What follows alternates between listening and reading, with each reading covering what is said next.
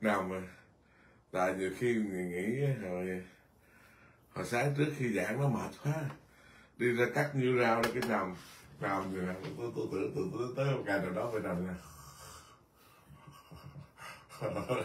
Tại gần chết đâu có đâu có nhắm miệng đâu. Ngõ cái con người gần chết đâu có đâu có ngậm miệng. Đó giống như là muốn nói cái gì vậy đó. Ông đấy à, ví dụ có người thì đụng hết răng thì món có người thì ho, chứ không có ai mà gần chết mà về hết trơn á. Lúc nào mở miệng là chết rồi. Cái con cháu hay là người thân họ phải vuốt họ đẩy lên vậy nè. Mình tưởng tượng tới ngày giờ đó rồi á, có lại mà có có có đánh vô mình hay là có đứng mắng mình mình cũng đâu có trả lời gì được. Sao chỉ bây giờ mình còn trả lời được là tại vì mình còn cái tôi á cái tôi là tại vì mình thấy mình còn sức mạnh mình còn này kia nọ. Cứ thử một ngày nào đó mà ông không nói được hay là không còn một tay trên cử động được rồi lúc đó giờ ai nói gì cũng chịu thua à. Mà tại sao mà không nghĩ tới ngày đó nhiều khi ngồi bán chiếu. Chiếu nghĩ tới ngày đó cái đó mình nhẹ thôi. Mấy mấy người nghĩ được ngày đó thầy.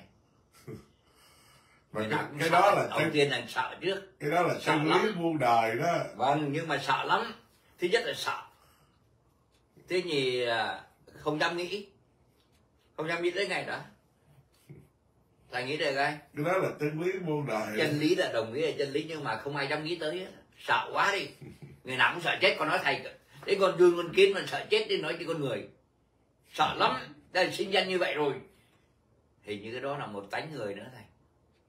Cái gọi là nhân tánh á. Dạ không phải. Cái đó là gọi là cái tết bảo thủ cho nên trong 12 cái thập diện nhân duyên đó có ái thủ hữu đó. Vì cái ái mà thủ đó vâng là thủ là là do cái ái. Cái người mà sợ sợ sợ sợ chết nhiều á sợ chết là con người ái nhiều. Ái đây là phải ái nam ái nữ không? Vâng ai mà là thương thương Dạ. yêu ừ, những cái gì mình thích. thích. Dạ. Mình giữ lại. Nhưng mà sao sao có người nói là nhân tánh có 16 cái tất cả thầy không cái đó là bên các cái đạo ngoài họ phân tích thôi. Nhưng đạo Phật thì tại nhờ nhờ cái triết lý đạo Phật là cái tánh không á. Vâng. Cho nên không có không có nói cái nhân tánh. Nhân tánh nhân tánh. Dạ thì tại vì có một cái tánh phật một cái có tánh người. Không có. Tánh phật thì có bốn cái. Tánh người có 16 cái. Không cái đó là phân tích không rồi không là ông tân diệu quá trời phân tích tào lao đó là thế tánh Phật là cũng kiểu một cái tánh Phật của đạo tánh Phật rồi là tánh phật là cái gì? Tánh tánh phật là cái gì? Giờ người ta hỏi ờ, chân tâm phật tánh. Là cái gì? Là cái thể xưa nay nó vốn hư không nó vốn vắng lặng. Gọi là chân tâm phật tánh. Nó vốn không có nó như như nó không có đầu mối nó không có chung cuộc. Thì làm gì có bốn hai ba? Nó giống như cái thể phật tánh nó giống như cái hư không vậy nè. Dạ. Nó hoàn toàn nó rỗng lặng sở dĩ nó duyên sanh ông nhìn lên ông thấy nó khói mịt mù là tại vì do nó bốc hơi nó bay lên. Khói đen là đen do là do nước nó bay lên. Là ta là khói trắng là do những cái gì này kia di hiện tượng duyên sanh. Nhưng mà hay cái chỗ là cái chân tao phật tánh đó là cái hư không này cuối cùng rồi nó hòa quang hết. Ông thấy không? Ông có thải cái bùa thúi lên, bạc nha, bạc ngàn nữa thì một hồi nó cũng đâu mất tiêu hết à ông có hốt cát ông luyện hốt bụi ông luyện lên hồi nó cũng đâu mất tiêu hết à. Cái đó mới gọi là bản thể chân tâm phật tánh là mình ví dụ nó như không vậy đó. Chứ còn như thầy thầy thấy thầy nghe thầy nói tự đẻ cho thầy biết làm như vậy rồi. Cái đó gọi phật tánh không? Đó là hiện tượng duyên sanh. Mình gọi là hiện tượng duyên sanh. Thì duyên sanh nó không ngoài phật tánh cũng như nước nó không ngoài sống mà sống không ngoài nước nhưng mà từ nước nó mới có sống rồi sống nhờ nước mà có, vậy thì nước sống nói hai cũng không được. Mà nói một cũng không trút. Học học tới tinh tinh tinh tinh thần kinh quan nghiêm rồi nó phải vậy đó. Bây giờ ngài hỏi vậy là nó là không, cũng không được, mà nó phải cũng không được nữa. Bởi vì bản thể nó sanh ra hiện tượng. Hiện tượng là phải có cái những duyên sanh. Ví dụ như nó là biển ra ra tôi coi biển thật sự nếu ra coi biển thiệt á là không ai thấy biển thiệt hết á. Mà thấy biển là nó đánh lô vô nó những cái làn sóng dập dồn. Ta tưởng đâu nó là biển chứ mà biển nó phải là vậy thầy biết bây giờ khoa học nó chứng minh á cái não thùy bên trái của thầy đó yeah, là nguyên chuyên môn cho cái ý của thầy. Yeah. còn não thùy bên phải của thầy đó là chuyên môn cho phần tay cái gì nó hư không nó như thế. Nó nhận như vậy thôi chứ nó không có có có theo như cái bên trái. Bên trái là ta thí dụ thành những cái cây thì bảo nó xanh nó đẹp nó cao nó cao. Còn cái cái bên phải nó thầy thì bảo ô cái cây là cái cây thôi. Thì, thì bây giờ khoa học mới chứng minh nó chứng minh như vậy đó thầy. Ý là thành ra bây giờ vậy chứ cái Phật giáo mình đó chư tổ đã chứng minh từ mấy ngàn năm trước rồi đó. Cho nên lúc nào Bồ Tát Quan Âm cũng nằm bên trái của Đức Thế Tôn hoặc là Đức Di Đà. Chứ đâu bao giờ Bồ Tát Quan Âm nằm bên phải đâu sở dĩ cái tâm đại bi nó cũng là hiện tượng duyên sinh. Là do khởi cái lòng thương. Còn thật sự bên phải như ông nói là cái Phật tánh nó bao la này nó đâu có thương đâu có ghét. Vâng nó tự động nhận thôi. Chư tổ đã, đã khai sáng cái vụ này mấy ngàn năm rồi nó mới có hiện tượng kinh điển đại thừa. Thừa mới đưa ra hình Bồ Tát Quan Âm. Lúc nào Bồ Tát Quan cũng hiện hữu bên phải là bên trái tim đó. Ở bên Dạ. trái là bên trái tim và trái tim đâu bao giờ nằm bên phải? Ông nhìn kỹ muôn loài xưa nay có trái tim nào bên phải đâu. Thì tư tưởng Phật giáo đại thừa chư tổ đã, đã phát minh ra những này đó rồi nhưng mà lúc đó không có thể là không có cái cái cái văn lý cái lời lẽ như bây giờ. Thì bây giờ khoa học mới bắt đầu mới mới nghiên cứu những cái của Phật giáo á bắt đầu không phân tìm ra. Nói rõ phân tìm nó tại sao mà bên phải và bên trái thì giờ bên phải là như ông nói là nó nó như hư không. Còn bên trái thì nó lại là là ý thức của mình. ý thức. Mình phân biệt cái này phân biệt cái là nào cái não. Và cái não phân biệt nó như não. vậy đó. Là như bên phải nó chỉ nhận thôi chứ nó không phân biệt. Còn bên trái nó phân biệt. Phải hay đẹp dạ. xấu bởi vì cái cái đó là cái phật tánh đó. Nhận biết tất cả mà như không biết gì hết á. Thấy nghe tất cả mà như không thấy. Cho nên mới nói là người tu là người gọi là là gọi là nhà phật tri kiến á. Phật tri kiến là từ vào cái tri kiến phật, mà tri kiến phật là tri kiến thật sự là nó không có phân biệt. Mình bây giờ mình nói nói đã, nói nói nói văn, nói vẽ nói hội thành ra nó có phân biệt hết trơn à. Cho nên hãy càng văn tự thì nó càng chóc. Vì vậy mà đức thế tôn cũng chặn họng trước rồi đó là 49 năm hay 45 năm ta không nói lời nào đó bởi vì cái ngôn tử, ngôn ngữ trần gian á nó là cái các cái ông nào nói ngôn ngữ trần gian là cái giả rách đó cái túi rách đó. Đựng sau đầy hai tiếng mẹ ơi đó. Có hai tiếng mẹ ơi mà ngôn ngữ trần cái cái cái cái ngôn ngữ dùng bao nhiêu ngôn ngữ mà ông còn cho là cái túi rách. Thì nói về cái phần tánh thì ông nghĩ nói sao cho cho cùng cho tận. Phải còn văn tự là nó còn chấp à. Vì vậy mà cái chữ chân như của ngài mã minh long thọ đó mấy trăm năm sau á, là tổ mã minh đó là ờ, tổ phải viết ra là cái chữ chân như phật tánh đó là ly văn thiết tướng, ly ngôn viên, ly văn viên tướng, ly ngôn thiết tướng. Như thị phá hoại, tất cánh bình đẳng mới là cố danh chân như. Không có gì phá hoại được, không có gì có thể xen vào bằng luận nó được. Mà nó là bình đẳng rồi thì còn gì nữa là không gọi đó là chân như chứ sợ nói ra nó trừu tượng quá như tánh phật. Phật tánh nói ra trừu tượng quá. Mình muốn theo mình biết cái gì là phật tánh mà mình theo. Đây ngay ngay như thầy bảo cái gì ờ, ờ, ờ, thầy nói cái câu chuyện gì đó. Là nghe con ông tổ là nói là có nghe con gì kêu không đó? Mà ông nói cái tánh cái tánh nghe có sẵn. Ừ. ai cũng nghe. Ừ. thầy thấy phải cái tánh nó tánh có sẵn rồi đẻ ra thầy có rồi. Nhưng mà những người điếc thì sao này cái tai nạn bảo cũng nghe chứ. Người biết họ có nghe nhưng mà họ nghe cái di du chứ cũng có nghe. Người đuôi cũng thấy nhưng mà thấy cái đen thui à. Còn đều có thấy nghe hết còn cái chuyện tai nạn đó là nói về cái nghiệp chướng nghiệp lực nó khác à. Còn nói về phần tánh biết vẫn vẫn nghe đuôi vẫn thấy giống như ông ông nghĩ coi cái ông uh, đệ tử phật có ông gì đây nè? Ông gì tự đang nói bên nghe là ông đâu có thấy đường. Ông không thấy đường. Mà tất cả cái chuyện gì ông cũng nói trước hết trơn. đó là đó ta ta thấy bằng cái cái trí thanh tịnh. Ngài không thấy đường. Rõ ràng đâu để tử Phật đủ hết các thành phần đó không thấy đường mà ngài nói ra cái không ai dám cãi được hết trơn á. Đó là ngài nói một cái trí thanh tịnh. Cho nên cho nên cái thấy á, trong nhà Phật nó chia ra là ngũ nhãn đó là nhục nhãn là cái thấy của mắt thịt của cha mẹ sinh ra. Rồi thiên nhãn. Rồi à, rồi, rồi pháp nhãn. Rồi tuệ nhãn. Rồi phật nhãn chứ không có đạo nhãn đạo nhãn chỉ có thầy tông hoàng ông khai sáng ra thôi. Tự tôi tìm hết ơi tất cả. Từ nam trì tới bắc trì không có đạo nhãn. Mà không biết làm sao mà dám qua nói thầy tông hoàng để ông sửa nó là bình thương chứ không phải mà mà mình nói để nói chê thảy cho thể lộn nhục nhãn thiên nhãn pháp nhãn tệ nhãn và phật nhãn chứ không có chữ đạo nhãn. Chắc phật nhãn là đạo nhãn. Không Là như pháp vậy. nhãn. Phải nói lộn chữ đạo nhãn ngay chữ ngay chữ pháp nhãn á chắc là thầy nghĩ cái chữ pháp đó là chữ Dạ. đạo đó Dạ. cũng có thể không biết đâu nhiều khi thầy nghĩ một chuyện cũng hay Dạ. nghĩ vậy cho nó là nhẹ đi chứ đừng nói sai trúng gì Vâng, cũng lộn cũng gì có Thế cho nên nhục nhãn thiên nhãn thì cái người mà dùng cái thiên nhãn là giống như cái người mà cầm cái kính viễn vọng nhìn xa xa cái cái đài viễn vọng cái chỗ cái đài mà hồi xưa nhìn xa xa nó có cái ống nhìn á là gọi chung cho đó là thiên nhãn đi cái bắt đầu tới pháp nhãn đó, là mình nhìn, không có nhìn bằng bằng cái cái con mắt thường này đâu.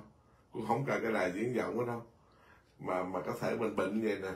Mình mắc về mình vẫn thấy pháp nhãn pháp nhãn là cái gì? Là vạn pháp xưa nay nó vốn hiển như thị, cho đâu cần phải nói gì nhiều. Nó là như thị tánh, như thị tướng như thị nhân, như thị duyên như thị bổn mạc cứu cánh ba báo nó vậy rồi rồi tới nhìn bằng tuệ nhãn mà nhìn bằng cái cặp mắt của hàng bồ tát. Mà bồ tát thì thấy ngũ quẩn nghe không độ chứ thấy không ách. Thấy sắc tức là không không không, không tức là sắc rồi. Nên là nói thành ra mình nói nó nó nó từ tu từ cái giai đoạn như thế. Nó mà nhục nhãn thôi ngũ nhãn thôi. Thì mình lấy cái pháp môn ngũ nhãn mình tu thì mình cũng biết mình tu tới đâu nữa nó ngặt bây giờ mình tu cái nào mình cũng muốn hết trơn cái mình ôm hết trơn cái trội này cuối cùng nó không cái nào ra cái nào. Còn ngày xưa phải chỉ chư tổ á nói đi nói lại thì tại sao tôi nói ba hồi tôi nói về ba hồi tôi nói khác? Chư tổ hồi đó chia ra để cho cái hàng đệ tử mình tu tới tới, tới chốn chứ không có cố tình chia để kết bè mà lập phái.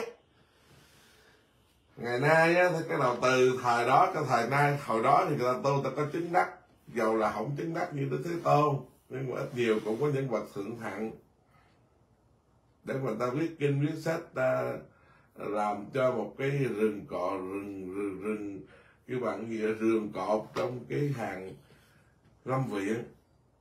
Ngày nay mình không có chứng đắc gì trên mà mình bắt đầu từ cái đó mình mượn cái đó để mình chia phe lập phái. Không theo chứ thật sự ra Phật có tông nào phái nào đâu. Ờ, thật sự ra thì Ờ, ờ, chỉ có cái giáo lý của Phật là nói chung, mới nói rằng là muôn dòng nước biển đều một vị mặn muôn lời Phật dạy chỉ có một vị giải thoát.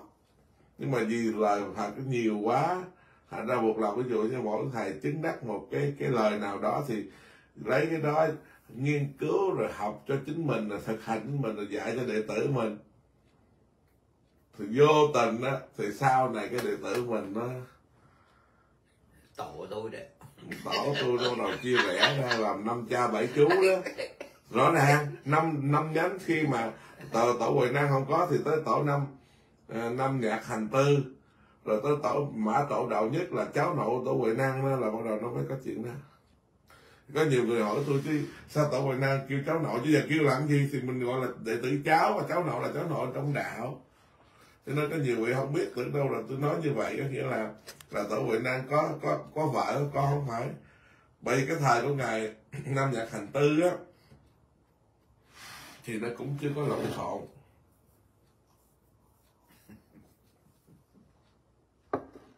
Mà tới thời tổ mà tổ đầu nhất á, bắt đầu nó chia ra là ngũ gia tông phái. Ngũ gia tông phái xong rồi cái kia thất thất chi. Từ năm nó đẻ làm hai nữa bắt đầu là là thất chi.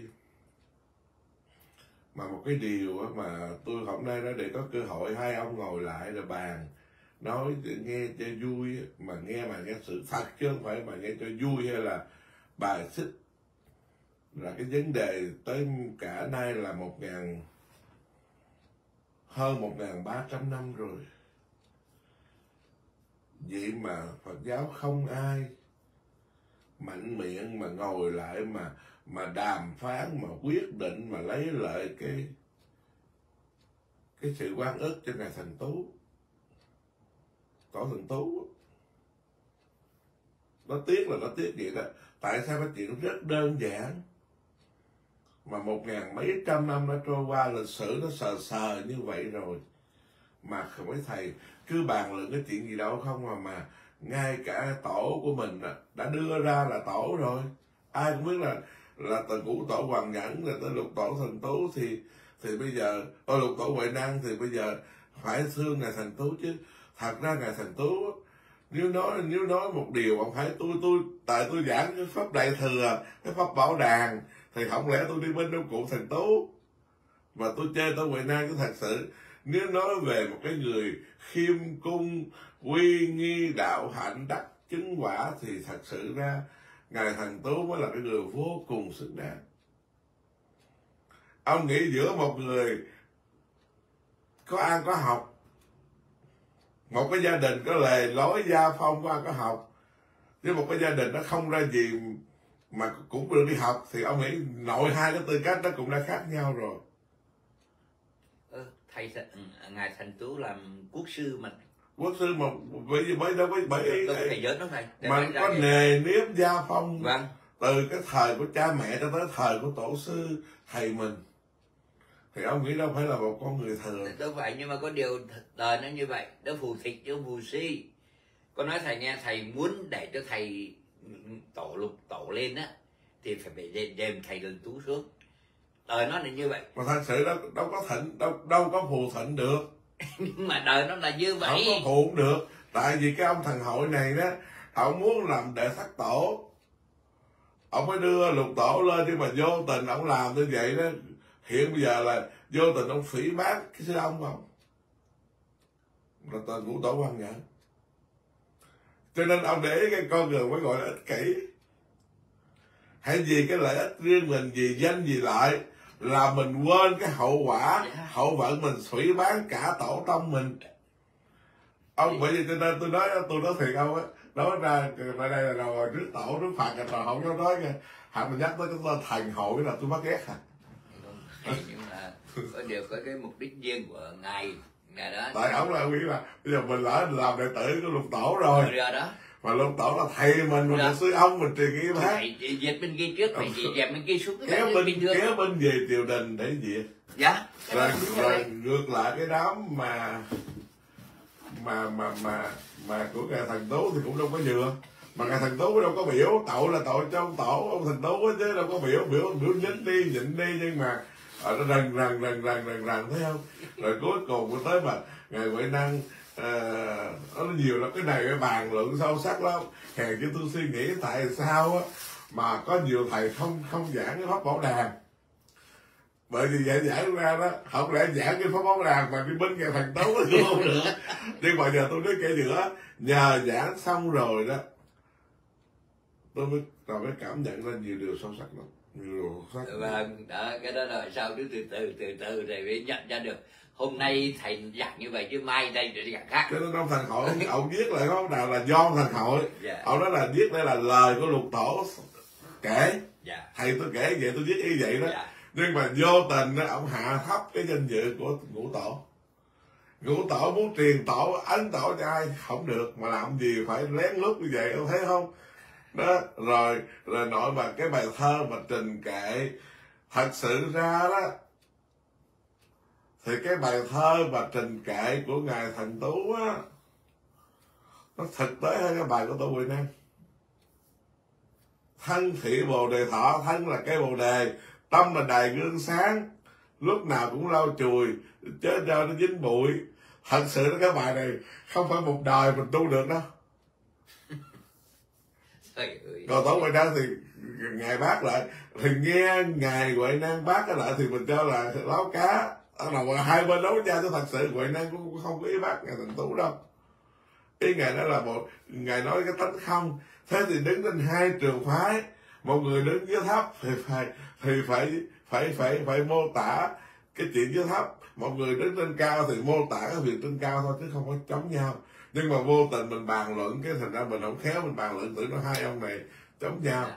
rồi á mà thiệt tình cái mục đích cuối cùng là giải thoát thôi thầy là giải, sanh thương. giải thoát. Còn mục đích của ngài Huệ Năng không nhắc tới giải thoát mà nhắc tới giác ngộ. Thì đó thì hai trường phái và nhưng mà giác ngộ thì giải thoát thì nó liền nhau. lúc điện nó liền nhau như vậy thôi mà. Nhưng mà giờ kể cái thằng tú á thì thật chỉ nó chỉ thiếu cái cái cái là chưa đủ là chưa đủ vì không hết ý được có bốn câu hết ý được. Là ông đấy nó chưa đủ là thân thị bồ đề thọ tâm như minh cảnh đài. Thế thì ngài viết vậy là có hai vế thân và tâm đúng không thân thị bồ đề thọ tâm như minh cảnh đài. Dạ.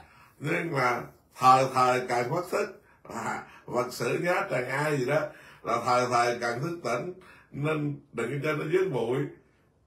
Thế thì ngài nói có một vế chứ ngài không không không không không xây ra nhiều về cái cái cái cái thân thị bồ đề thọ. Ngài đưa ra hai vế nhưng mà hai câu sau đó là nó minh chứng cái câu tâm liên minh cảnh đài thôi. Thành ra nếu ai đủ bản lĩnh á mà thật sự cũng ai có bản lĩnh tổ đã viết như vậy rồi thì cũng không không ai được bản lĩnh. Còn ngài huệ năng á, bồ đề bổn vô thọ. Là bồ đề nó vốn không có cây không có gốc, không có cây. Tâm thì gì đó tâm ờ, minh cảnh diệt phi đài. Bản lai vô nhất vật hà sử nhớ trần ai sự tâm ờ, minh cảnh diệt phi đài mình cả cái cái cái cái tướng của cái cái cái gương mà không có thì nói chi cái đài gương gì đó nhân dân thì nói về cái tánh không, thì xưa nay không một vật thì lấy gì nhá trần ai. Xưa nay không một vật thì làm gì mà có bụi để dính. Thì cũng ngày ngoại năng thì lại nó bổ túc về tên dưới luôn đó. Một cái câu, hai câu dưới mà nó đã đã phá thân và tâm. Nhưng mà ngài thằng tú thì cái xã học nhiều quá nhưng mà có khi ông thấy xã học vẫn bị đứt lối nha. Ví dụ như cái bài mà mà của ngài trương kế mà mà ờ, mà mà cái gì đó hàng sơn tự đó. Ông thấy không học nhiều quá cả học như trương kế vậy mà mà mà bích nói bích nói bởi cái gì? Tại vì bích bích nói là tại vì trương kế lúc đó đó hỏi nói này nó ra kia cái đầu rồi đó. thì nói cuối cùng có nói thầy một lần tiếng lại nữa càng học càng ngu thầy không nhớ đâu. Càng học càng ngu. Tại vì ông kế bích nói là tại vì ông ông thấy cái loạn của an lạc sơn an lộc sơn á Dạ. cái loạn của đời đường sao mà mà cái loạn gì gia nhân vậy đó thấy ông đau khổ quá. Cho nên là ông ông mới viết được có hai câu à. Hai câu ông ông bắt đầu ông, ông lo cái bầu rượu ông không không còn muốn suy nghĩ nữa. Không suy nghĩ đến tình cờ với cuối cùng cái tiếng chuông chuông chùa hàng sơn. Giọng lên ông mới nói cái câu gì đầu tiên là cứ nói sầu miên đó à. Cho nên á nó nhiều cái mình khi mình học thơ văn của người xưa đó mình đặt mình vào tâm mình hiểu tâm trạng rồi mình phải đặt vào tâm trạng người đó. Rồi hoàn cảnh thì ngài thần tú ông quá giỏi ông là giống như ông là hàng học sĩ đó gọi là hồi xưa là, lắm là tiến sĩ bây giờ đó. Quốc sư lớn lắm. Thì như- được tiến sĩ nhiều. Quốc sư là thầy được lên quốc sư là ghê lắm á thầy. Tại chứ hồi đó gọi là cái gì đó cái văn học sĩ á, cái gì đó gì quên mình nói. Nhưng mà ngài quá giỏi nhưng mà khi bây giờ tình kệ. Thật sự là khi ngũ tổ bảo trình kệ để ngài giao y bác cho thì thật sự ngài thần tú không bao giờ muốn muốn làm tổ kìa. Ngài không muốn trình. Nhưng mà ngài là giáo thọ lớn. Ngài là quốc sư tương kiều đó là bây giờ ngài chờ hoài không ai trình. Rồi bao nhiêu thầy thì nó có có đại sư thần tú rồi mình có trình lên thì cũng ăn nhận gì. Rồi khi bắt công ta cười nữa. Dạ. Thôi để mình ngày thần tú đủ rồi thì ai cũng nghĩ là cái duyên ngày thần tú cho nên chờ riết không được. Ngày thần tú viết bài kệ đó cũng viết lén chứ đâu phải mà mà mà viết công khai đâu. Ngài viết không để tên luôn. Không để tên nhưng mà tới sáng cụ tổ ra hỏi bài thì có ai đâu có tên thần tú đâu. Rồi ai cũng nói chắc chắc của đại sư thần tú đó. À, mới kêu thần tú thần tú khép nép nói chứ. Cụ tổ nói dạ con tài sơ đức mọn con viết? Tại không thấy ai viết thì con lấy con viết vậy đó. Xin tổ dạy thêm. Thật sự lúc cái sự khiêm hạ ngài thần tú cái sự học của ngài học vị ngài thần tú mà lúc đó ngài cũng bối rối ngài viết bốn câu nhưng mà thật sự là rõ ràng là nói bốn câu thấy rõ không? Bồ đề bổn vô thọ tâm như minh cảnh đài. Bản à, tự nhiên hai cái lò lộn xộn là hai bài kệ đó. Có nghĩa là nói tiếng việt á là thân là cây bồ đề tâm là đài gương sáng lúc nào cũng lau chùi chớ cho dướng bụi thực tế thì hai câu sau nó bổ Thì túc cho cái câu thứ hai thôi chứ cái câu thứ nhất không có. Rồi cái đại gương sáng này không biết bao giờ con người ta được đại gương sáng. Ừ. tại sao đại gương sáng? Nó bự nó bụi che mờ mịt bao nhiêu kiếp rồi. Còn mà sao mà đại gương sáng được khó lắm rồi nói nói một chữ đại gương sáng thì nói không nổi nữa cho nên cái người càng học cao thì có khi nó lại dướng trong cái sự bối rối Dạ. nó bối rối thế thì nó bối rối thật ra nó hư bét hết trơn ừ. Ờ, thôi này, này, quá. đi ở đầu gọi cho Dạ, các anh kia dạ, cái để- dạ. để- để-